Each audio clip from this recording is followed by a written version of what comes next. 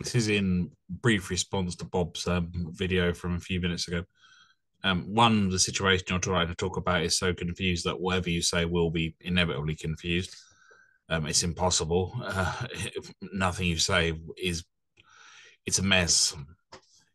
Even if we've got a team of learned academics on the situation, talk at length, and historians, the human tragedy of it would be so immense or whatever they said would be overwhelmed by that. Whatever pertinent points they made would also be overwhelmed by that.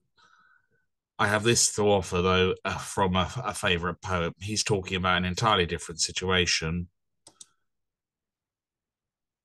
and an entirely different place, but there are some similarities. This is by the Irish poet Louis MacNeice, who was from a moderately unionist background, a background in many ways entirely unlike my own, but he's also a favourite poet of mine.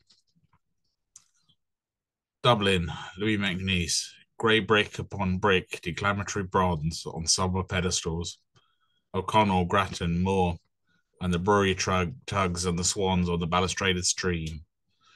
And the bare bones of a fanlight over a hungry door, and the air soft on the cheek, and porter running from the taps, with a head of yellow cream, and Nelson on his pillow watching his world collapse. This was never my town. I was not born nor bred nor schooled here, and she would not have me alive or dead.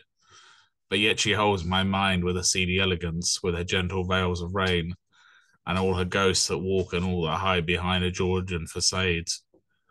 The catcalls and the pains, the glamour of a squalor, the bravado of a talk. The lights jig in the river with the concertina movement, and the sun comes up in the morning like barley sugar on the water. And the mist on the Wicklow hills is close, as close as the peasantry were to the landlord, as the Irish to the Anglo Irish, as the killer is close one moment of the man he kills, or as the moment itself is close the next moment. She is not an Irish town, and she is not English, historic with guns and vermin, and the cold renown or fragment of church Latin of an oratorical phrase, but oh, the days are soft, soft enough to forget the lesson better learned the bullet on the wet street, the crooked deal, the steel behind the laugh, the Four Courts burn.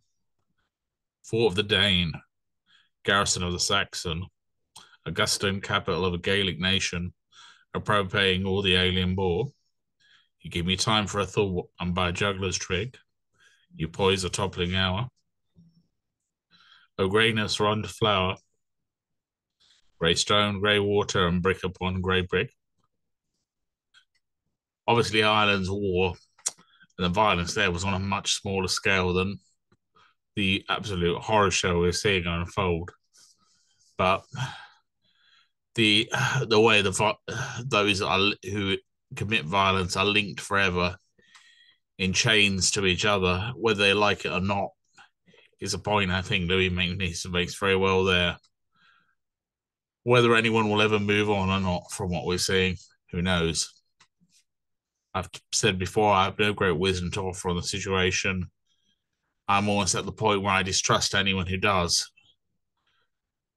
I just hope we will at some point see some end to the to what is essentially an unfolding horror show.